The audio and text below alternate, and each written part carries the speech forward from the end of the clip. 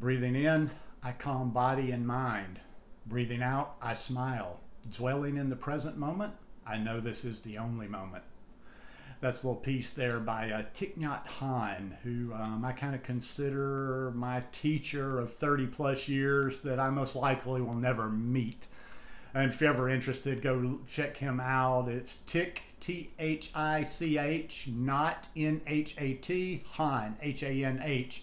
He's a little uh, Vietnamese Buddhist who I have followed for, like I say, almost 30 years now. And uh, he's currently in uh, France. But the reason I probably will never meet him is he's in, he had a stroke several years ago. He's in his upper 90s. But anyhow, a lot of times when I talk about be here now or here and now, being in the present, people kind of jump to the assumption that I'm talking about Ram Dass, the, the famous book that turned 50 this year, Be Here Now. And while I love Ram Dass, in fact, I can't tell you how many um, audio talks I listened to his over the weekend. My kind of thoughts, concepts of Be Here Now originally came from uh, Thich Nhat Hanh, and that was also the foundation, the simplest foundation of my meditation practice. And it was sort of kind of kept me going for years and years before I even started meditating, for periods after I started meditating, didn't meditate anymore. And it has just been something that I've been able to uh, go through um, throughout the years. I've talked a good bit about mindfulness um, lately, or I've done a few videos, and um, it's just something that's really a big factor in my life right now. You know, it's just really trying to focus on the now because you know, for a number of reasons. Like, you know, I'm living, I'm currently living with an old college roommate of mine. And sometimes, and his brain, he, well, he wasn't a drunk for 30 years. Sometimes he'll actually remember like a play in a football game. And this is, like I said, like when we were roommates was at least 35 years ago. And, you know, I, I this comes up all the time where like somebody will tell me something we did and that memory was totally gone and even as they're retelling it, I know they know, I can just tell because I know the person telling it or the source that I'm reading knows what they're talking about. But as they're telling me about this thing that I participated in over, I don't really have firsthand remembrance of it. So the point being, when we look back to the past and speculate on what was, what could have been, or feeling guilt over what we've done, um, it's the past doesn't even exist and now I'm not trying to be silly there. I'm being, you know, I'm taking a little bit of liberty at words. But what I mean is the past doesn't really exist as a concrete thing. We have different versions of the past. Let's say five of us um, were together 25 years ago at an event, and five of us sat down and just wrote down our thoughts, just free-handed wrote down our recollection of the event. That would be five different events does that mean that somebody's lying? No. Does that mean that somebody's wrong? No. It just means that our memories distort over time. So, you know, even when we're going back, we don't. We're even when we're thinking about things in the past and lamenting over them, they're not always exactly even as we remember them. And the future. Think about this. I was thinking about this like I, it used to happen when I was going to a new country, you know, and maybe I worked for several months. I used to do that I used to bartend wait tables for you know about eight months during spring break, all the way past Labor Day, and then I'd go bounce during the winter and go find somewhere.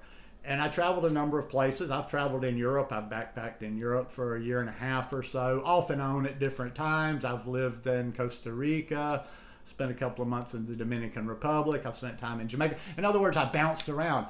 Not one time, not one time out of any of those trips did I like when I got there and you know wherever I ended up living or staying at the time, the kind of food I was eating, the people I was around, what I was seeing, it was never like I imagined it. Never like I imagined it. So past is distorted, the future is just an imagination. So the only thing that we really know is that here and now. And I don't mean just the present as in present day. I'm talking about in this very moment that I'm sitting here making the video and that you're sitting there watching the video. And the simplest way to always just bring it back, just bring it back, just bring it back. That's why even when I'm talking about meditation, I'm not focused on how long you can stay, you know, with your mind just centered in, not thinking about anything. It's about coming back to that breath. It's about coming back to that in breath, out breath, here, on the in breath, now on the out breath. And um, yeah, that's just really, really the only moment that we live in. So that's just something that I'm really focusing a lot on these days, just to really reinforce this. And to, even though I talk about this a lot, um, it's still something that's a daily work because we're human. Now, I'm not telling anybody they shouldn't think about their past. I'm not you know, chastising anybody for even being guilty or going back into their past. I do it myself. Hell, like I say, I've had some heavy karma coming down on me from like over the past few years, just redoing all the shit in my head, thinking about all the years that I was just, like I said, a worthless drunk that just I did nothing of substance. But it's always a work in progress and I had a couple of um, little short pieces I wanted to share here with you. Actually, one is really, really short. It's just basically a little poem. Um, but let me read them, and I will do my absolute best. I've been getting better about doing this to drop uh, the links to uh, this article. The article, the other one is just like a little poem, but the article I'll drop in the description below. And it's uh, it starts out Samu S-A-M-U, training the mind to stay present.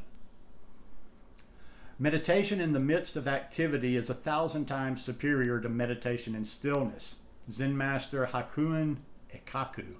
And you know, I'm gonna stop for just a second before I read. I totally resonate with that because a lot of times, you know, I'll, I'll, I'll meditate here, or my roommate knows I meditate, and I'll go in and I come out or sometimes he doesn't know I'm in my room meditating and I'll come out and he's been making noise and he says, Oh, I'm sorry, I was making noise. I'm like, Oh, no, no, no, no, no. If you have to go find absolute still just to get find the stillness within you, that kind of defeats the point.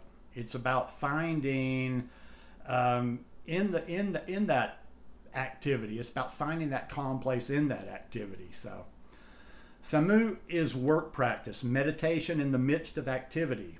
In Japanese Zen monasteries, samu involves the work of keeping the monastery clean, the monks fed, the buildings and grounds maintained. One, can one could consider it a break from the rigors of zazen, or sit-in meditation. Or it could be one of the most challenging, challenging and rewarding meditation practices available to a sincere practitioner.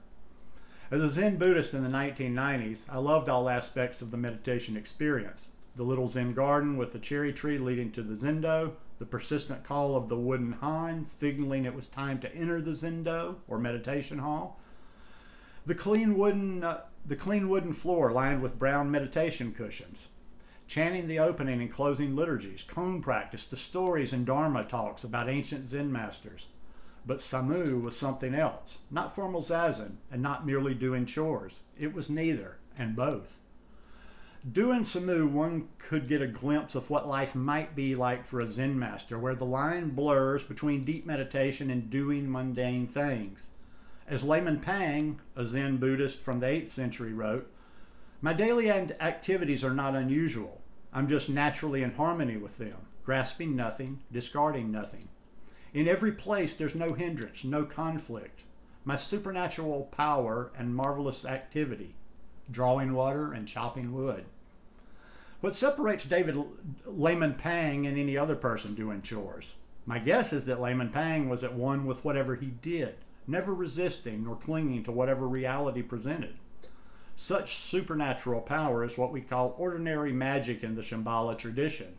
Ordinary magic is when the heavy veils of ego and discursive thought disappear and nothing separates the self from the exquisite nature of reality. Why now? Surely Layman Pang understood that life's most precious aspect is found only here, in this present moment. Moment by moment, we have the opportunity to, to experience life 100%. In glorious 3D Technicolor surround sound. Now is where it's at. Now is where life happens. In a sense, it's all there is. Yet we humans get quite creative and avoid in the present moment. Life can be boring, painful, repetitive, or ugly. We may wish to be anywhere, anytime except for here and now.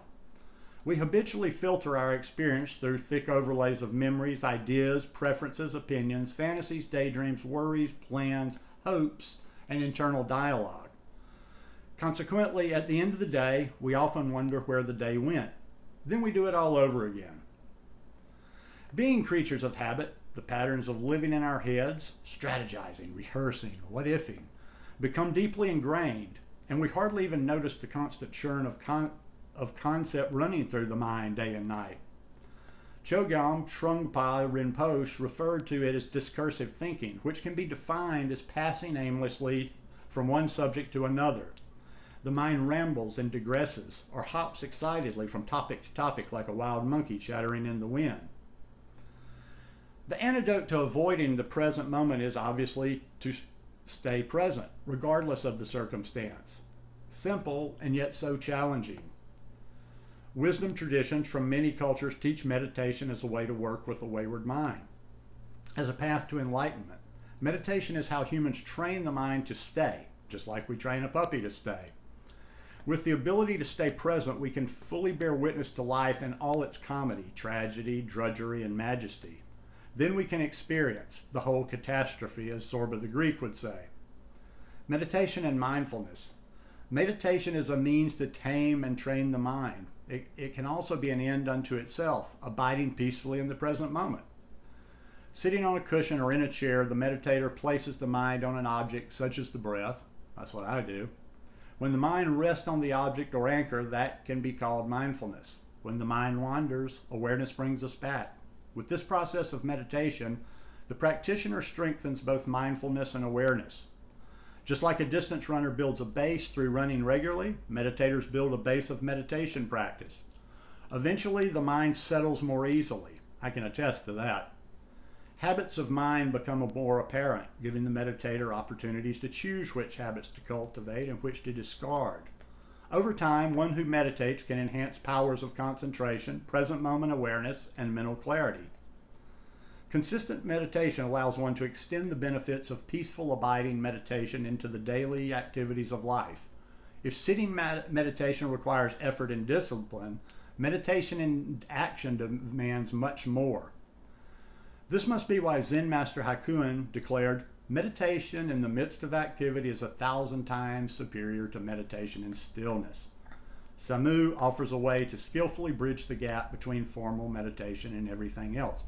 I've been grabbing hold of that kind of stuff lately, like um, on my walks. Like on my walks, you know, I tend to put my headphones in and listen to podcasts. But sometimes on my walks, I just like to stop, turn those podcasts off. And like the other day, I was just tuned into some birds or whatever happens to be going on in the park right now. So just think about that. Just that one takeaway out of all that that I just shared is just take away that life happens in the here and now. If that has to become your mantra, say it over and over. Write it on something, put it on your refrigerator. But life happens in the here and now. Hope y'all enjoyed this one, and I will see you here again uh, midweek. Peace and love.